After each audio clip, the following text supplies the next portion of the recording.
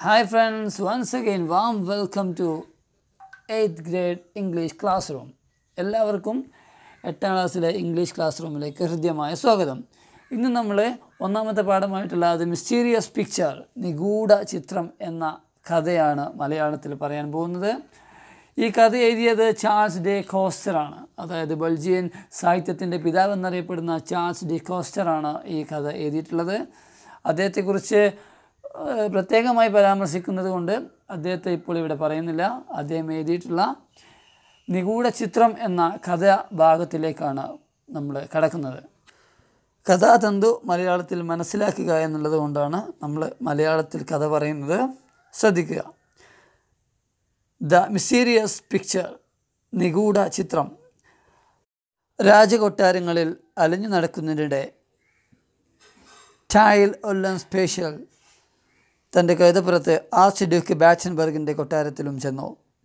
അയാളുടെ വേഷവിധാനവും ആകാരവും എല്ലാവരുടെയും ശ്രദ്ധ ആകർഷിച്ചു. അയാൾ മനോഹരമായി തൊപ്പി ധരിച്ചിരിക്കുന്നു. കഴുതപ്പുറത്ത് കടന്നു വരുമ്പോൾ തൊപ്പിയിലെ മൂന്ന് തൂവലുകൾ കാറ്റത്ത് നൃത്തം വെച്ചു. കൊട്ടാരത്തിന്റെ പ്രധാന കവാടത്തിൽ കാവൽക്കാരുടെ ക്യാപ്റ്റൻ അയാളോട് പറഞ്ഞു അവിടെ നിൽക്കൂ. കൈതപ്പുറത്തെ കൂട്ടുകാരാ. അലഞ്ഞു തിരിയുന്നവരെ ഇവിടെ പ്രവേശിക്കുവാൻ അനുവദിക്കുകയില്ല. നിങ്ങളെയും കഴുതയെയും കണ്ടാൽ അസ്ഥിപഞ്ജരം പോലെ അതായത് പട്ടിണിക്കോലങ്ങളെ പോലെ തോന്നുന്നു. ഏകദേശം ഇരുപത്തിയഞ്ച് വയസ്സ് പ്രായം തോന്നിക്കുന്ന നല്ല ഉയരവും ഉറച്ച ശരീരവും ചുവന്ന മുടിയുമുള്ള ആളായിരുന്നു കാവൽക്കാരുടെ ക്യാപ്റ്റൻ. സ്വർണനൂലുള്ള യൂണിഫോം ഭംഗിയായി ധരിച്ചിരിക്കുന്നു. അദ്ദേഹത്തെ സൗമ്യമായി നോക്കിയ ശേഷം ടൈൽ കൈതപ്പുറത്ത് നിന്നും ഇറങ്ങി വണങ്ങിയ ശേഷം പറഞ്ഞു ദൈവം നിങ്ങളെ രക്ഷിക്കട്ടെ ക്യാപ്റ്റൻ. എന്നെ അസ്ഥിപഞ്ജരം പോലെ കാണപ്പെടുന്നുവെങ്കിൽ അത് എന്റെ കുറ്റമല്ല. എനിക്ക് നല്ല വിശപ്പുണ്ട്. ഇവിടേക്ക് വരുവാൻ ഞാൻ നിർബന്ധിതനാവുകയായിരുന്നു. താങ്കളുടെ കുപ്പായത്തിലെ സ്വർണ നൂലിന്റെ ഒരു കഷ്ണം തരുവാൻ നല്ല മനസ്സുണ്ടായാൽ എനിക്ക് കശാപ്പ് കടയിൽ ചെന്ന് അവിടെ തൂക്കിയിട്ടിരിക്കുന്ന ആടിന്റെ കാലിൽ കടിച്ചു തൂങ്ങാമായിരുന്നു. അതായത് വയറു നിറയെ ഭക്ഷണം കഴിച്ച് വിശപ്പടക്കാമായിരുന്നു എന്നർത്ഥം. ക്യാപ്റ്റൻ വേറൊരു ഓഫീസറുമായി ചെസ് കളിക്കുകയായിരുന്നു. തല ഉയർത്തി അയാൾ ചൈൽഡിനെ കൗതുകത്തോടെ നോക്കി. നിങ്ങൾ എവിടെ നിന്ന് വരുന്നു? അയാൾ ചോദിച്ചു. ഫ്ലോണ്ടേഴ്സിൽ നിന്നും ചൈൽഡ് മറുപടി പറഞ്ഞു. നിങ്ങൾക്ക് എന്ത് വേണം? എന്റെ ചിത്രങ്ങളിൽ ഒരെണ്ണം ആദരണീയനായ ആസിഡ്യൂക്കിനെ കാണിക്കുവാൻ ആഗ്രഹിക്കുന്നു. കൊള്ളാം. നിങ്ങൾ ഫ്ലോണ്ടേഴ്സിൽ നിന്നുള്ള ചിത്രകാരനാണെങ്കിൽ അകത്തേക്ക് വരാം. ചെറിയ താല്പര്യത്തോടെ ക്യാപ്റ്റൻ ക്ഷണിച്ചു. ഫ്ലമീഷ് ചിത്രകാരന്മാർക്കും അവരുടെ ചിത്രങ്ങൾക്കും ധാരാളം ആവശ്യക്കാരുണ്ടെന്ന് ക്യാപ്റ്റന് അറിയാമായിരുന്നു. ടൈലിനെ ആശിഡ്യൂക്കിന്റെ മുന്നിൽ ഹാജരാക്കി. ആശിഡ്യൂക്കിനെ മൂന്ന് തവണ സല്യൂട്ട് ചെയ്ത ശേഷം തലകുമ്പിട്ട് വണങ്ങി ടൈൽ നിന്നു. തന്റെ എന്റെ ഒരു ചിത്രം അങ്ങേക്ക് ഇഷ്ടപ്പെടുമെന്ന് ഞാൻ ചിന്തിച്ചു പോയത് അവിവേകമായെങ്കിൽ ക്ഷമിക്കണം.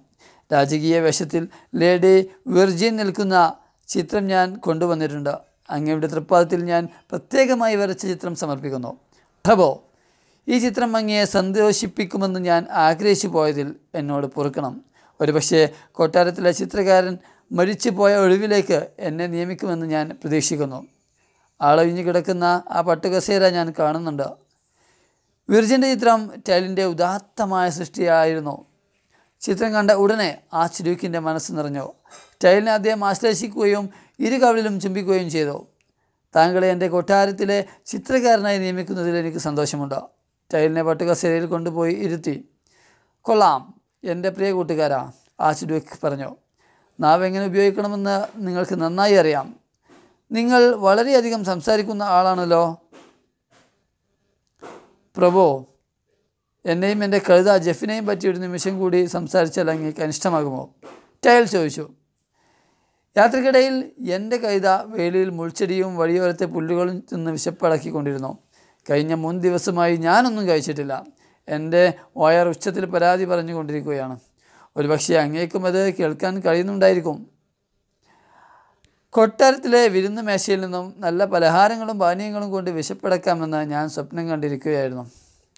തീർച്ചയായും നിങ്ങൾ സ്വപ്നം കണ്ടതിനേക്കാൾ സുഭിക്ഷമായ ഭക്ഷണം ഇവിടെ കിട്ടും. ആച്ചിലേക്ക് പുഞ്ചിരിച്ചുകൊണ്ട് പറഞ്ഞു. നിങ്ങളുടെ കഴുത എവിടെ? കൊട്ടാരത്തിന് എതിർവശത്ത് മേയാൻ വിട്ടു. ജെഫിന് സംരക്ഷണം നൽകിയാൽ ഞാൻ അങ്ങയോട് നന്ദിയുള്ളവനായിരിക്കും. കുറച്ച് തീറ്റയും. രാത്രിയിൽ കിടക്കാൻ ഒരു കൂടും വേണം. ടയൽ പറഞ്ഞു.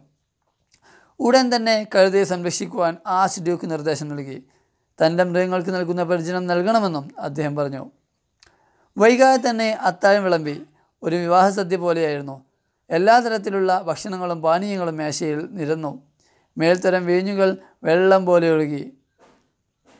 ഇഷ്ടഭക്ഷണങ്ങൾ രാജഭൃത്യന്മാരും നന്നായി ആസ്വദിച്ചു. വയർ നിറഞ്ഞ് പൊട്ടുന്നത് വരെ ടൈലിനെ ആശ്രയിക്ക് സൽക്കരിച്ചു. ആശ്രയിക്കും ഭക്ഷണം ആസ്വദിക്കുകയും വീഞ്ഞു കുടിച്ച് മുഖം ചുമന്ന് തുടുക്കുകയും ചെയ്തു. ഇതിനിടയിൽ ആശ്രയിക്ക് എന്തോ ചിന്തിച്ചിരുന്നു. പെട്ടെന്ന് ചിന്തയിൽ നിന്നുണർന്ന് ഉച്ചത്തിൽ പറഞ്ഞു നമ്മുടെ ഛായാചിത്രം ചിത്രകാരൻ വരക്കണം അങ്ങനെയായാൽ നമ്മുടെ സ്മരണ അടുത്ത തലമുറയ്ക്ക് കൈമാറിയെന്ന സംതൃപ്തി എനിക്കുണ്ടാകും. ഈ ചുമരുകളെ അലങ്കരിക്കുന്ന പൂർവികരുടെ ഛായാചിത്രങ്ങൾക്കൊപ്പം എന്റെ ഛായാചിത്രവും സ്ഥാപിച്ച് ചരിത്രത്തിൽ സ്ഥാനം നേടണം. മരണത്തെക്കുറിച്ച് ചിന്തിക്കുന്നത് ദുഃഖകരമാണ്.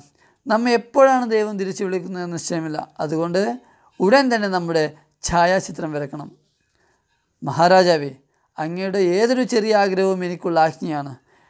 ചായൽ ഉടൻ തന്നെ മറുപടി പറഞ്ഞു. അങ്ങയുടെ ഛായാചിത്രം മാത്രം വരയ്ക്കുന്നതിൽ എനിക്ക് താല്പര്യമില്ല.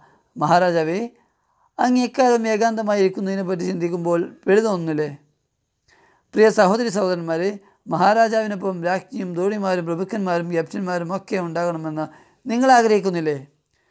ഇത്രയും പ്രൗഢിയും പ്രതാപവുമുള്ള കൊട്ടാരങ്ങൾ കുറവാണ്. സൗന്ദര്യവും ഗാംഭീര്യവുമുള്ള കൊട്ടാരത്തിൽ രാജാവിനൊപ്പം രാജ്ഞിയും നക്ഷത്രങ്ങൾക്കിടയിൽ ചന്ദ്രനെ പോലെ പ്രകാശിക്കുന്നവരായി ചിത്രീകരിക്കും.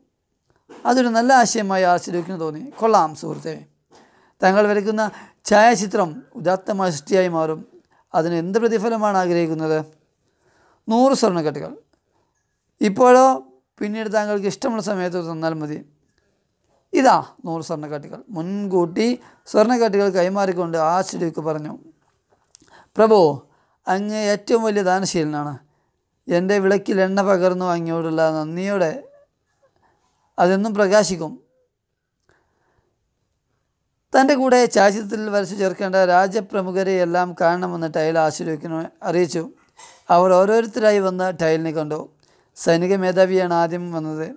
കുടവയറും കഷണ്ടിയുമുള്ള തടിച്ച് കുറിയ മനുഷ്യനായിരുന്നു അയാൾ. എന്റെ ചിത്രത്തിൽ ഞാൻ സുന്ദരനായിരിക്കണം. എന്റെ കുടവേർ മാറ്റി എന്നെ സുന്ദരനായി വരച്ചില്ലെങ്കിൽ നിന്നെ ഞാൻ തൂക്കിലേറ്റും. ഒരിക്കൽ ഞാൻ സുന്ദരനായ ഭടനായിരുന്നു എന്ന് ഓർക്കണം. അയാൾ ടൈലിന്റെ ചെവിയിൽ പറഞ്ഞു പ്രായം ചെന്ന ഒരു സ്ത്രീ അടുത്തായി വന്നു. അവരുടെ മുതുകിൽ വലിയൊരു മുഴയുണ്ടായിരുന്നു. ചിത്രകാര എന്റെ മുതുകത്തെ മുഴ മാറ്റി സുന്ദരിയായി വരക്കണം എന്റെ മുതുകിലെ മുഴ മാറ്റാതെ വരച്ചാൽ നിങ്ങളെ പല കഷ്ണങ്ങളാക്കി വെട്ടി നുറുക്കും രാജ്ഞിയുടെ സഹപ്രവർത്തകയായ ഒരു യുവതി പിന്നീട് വന്നു അവ സുന്ദരിയായിരുന്നു എന്നാൽ ഒരു അപകടത്തിൽപ്പെട്ട് മുൻനിരയിലെ മൂന്ന് പല്ലുകൾ നഷ്ടപ്പെട്ടു. സുന്ദരമായ പല്ലുകൾ കാട്ടിച്ചിരിക്കുന്ന സുന്ദരിയായ തന്നെ വരച്ചില്ലെങ്കിൽ തന്റെ കാമുകനെ കൊണ്ട് കൊത്തി അരിയുമെന്ന് അവർ മുന്നറിയിപ്പ് നൽകി. കാവൽക്കാരുടെ ക്യാപ്റ്റന് നേരെയാണ് അവൾ വിരൽ ചൂണ്ടിയത്. ഇതേപോലുള്ള ഭീഷണികൾ അവസാന ആളെ കണ്ടു തീരം വരെ ലഭിച്ചു. ഒടുവിൽ ആ ചെടിയൊക്കെ ടൈലിനെ വിളിപ്പിച്ചു. തങ്ങൾ വരയ്ക്കുന്ന ഛായാചിത്രം എല്ലാ പരിപൂർണതയുള്ളതായിരിക്കണം. എല്ലാവരെയും അവരെ നേരിട്ട് കാണുന്നത് പോലെ യാതൊരു മാറ്റവുമില്ലാതെ വരയ്ക്കണം. ഒരു രാമമോ മറുകോ നരച്ച മുടിയോ ഒഴിവാക്കിയാൽ പന്നിയെ കൊല്ലുന്ന പോലെ നിന്നെ ഞാൻ കൊല്ലും. ചൈൽ വളരെ സൗമ്യമായി കാര്യങ്ങൾ വിലയിരുത്തി. ഈ ചിത്രം വരച്ചാൽ ഞാൻ കൊല്ലപ്പെടും. തീർച്ച. അനുസരണക്കേട് കാണിച്ചാൽ ആശ്ചര്യക്കിന്റെ കയ്യാൽ പന്നിയെപ്പോലെയോ രാജസദസ്യരെ കാണുന്നത് പോലെ വരച്ചാൽ അവരുടെ കയ്യാലോ കൊല്ലപ്പെടും. എന്തു ചെയ്താലും മരണം ഉറപ്പാണ്. ഞാൻ എന്ത് ചെയ്യണം? ഈ ചിത്രം വരയ്ക്കാതിരിക്കുന്നതാണ് ബുദ്ധിപൂർവമായ തീരുമാനം. അടുത്ത ദിവസം ചിത്രം വരയ്ക്കേണ്ട ഹാൾ ഏതെന്ന് കാണിച്ചു തരണമെന്ന് ആഷിഡ്യൂക്കിനോട് പറഞ്ഞു. ആഷിഡ്യൂക്ക് ശൂന്യമായ ചുമരുകളുള്ള ഒരു വലിയ ഹാൾ കാണിച്ചു കൊടുത്തു. ചുമരുകളിൽ കട്ടിയുള്ള വിരി തൂക്കുവാൻ ടൈൽ ആവശ്യപ്പെട്ടു. പൊടിയിൽ നിന്നും ചെറിയ ഈച്ചകളിൽ നിന്നും യുദ്ധത്തെ സംരക്ഷിക്കുന്നതിനാണ് ഇങ്ങനെ ചെയ്യുന്നതെന്ന് ടൈൽ പറഞ്ഞു. ചായങ്ങൾ കൂട്ടുവാൻ മൂന്ന് സഹായികളെയും ആവശ്യപ്പെട്ടു. ടൈൽ ആവശ്യപ്പെട്ടതെല്ലാം ആശ്ചര്യക്ക് നൽകി. ടൈലും സഹായികളും മുപ്പത് ദിവസങ്ങൾ ഇഷ്ടഭക്ഷണം കഴിച്ചും മുന്തിയ തരം വീഞ്ഞു കുടിച്ചും ജീവിച്ചു. മുപ്പത്തി ഒന്നാം ദിവസം ആശ്ചര്യക്ക് വാതിൽ തുറന്ന് തല നീട്ടി ചോദിച്ചു. ചിത്രം പൂർത്തിയാക്കേണ്ട സമയം കഴിഞ്ഞു. എനിക്ക് ചിത്രം കാണാൻ തിടുക്കമായി. ചിത്രം പൂർത്തിയായോ? ചിത്രം പൂർത്തിയായി കൊണ്ടിരിക്കുകയാണെന്നും ഏതാനും ദിവസങ്ങൾ കൂടി വേണമെന്നും ടൈൽ പറഞ്ഞു. ചിത്രം പൂർത്തിയാക്കുവാൻ ഒരാഴ്ചയോ രണ്ടാഴ്ചയോ കാത്തിരിക്കുവാൻ തയ്യാറാണെന്നും ആശുഡ്യൂക്ക് മറുപടി പറഞ്ഞു. ചായലും കൂ ചായലും സഹായികളും ഒരാഴ്ച കൂടി തിന്നും കുടിച്ചും ആഘോഷം തുടർന്നു. നാൽപ്പത്തി അഞ്ചാം ദിവസം ആർച്ച് ഡ്യൂക്ക് വാതിൽ തുറന്ന് തലനീട്ടി ചോദിച്ചു ചിത്രം പൂർത്തിയാക്കേണ്ട സമയം കഴിഞ്ഞല്ലോ? ഛായാചിത്രത്തിന്റെ അവസാന മിനുക്ക് പണികൾ ചെയ്തുകൊണ്ടിരിക്കുകയാണ്. കുറച്ച് സമയം കൂടി അനുവദിക്കണമെന്ന് ടൈൽ പറഞ്ഞു ചിത്രം മനോഹരമാക്കുവാൻ ആവശ്യമെങ്കിൽ കൂടുതൽ സമയം നൽകാൻ. അടുത്ത ആഴ്ചക്കുള്ളിൽ ചിത്രം പൂർത്തിയാക്കുകയോ ഇപ്പോൾ പൂർത്തിയാകാത്ത ചിത്രം കാണിക്കുകയോ ചെയ്യാം. ആശ്ചര്യൂക്ക് പറഞ്ഞു പതിനഞ്ച് ദിവസത്തിനുള്ളിൽ ചിത്രം പൂർത്തിയാക്കാമെന്ന് ടൈൽ ഉറപ്പ് നൽകി.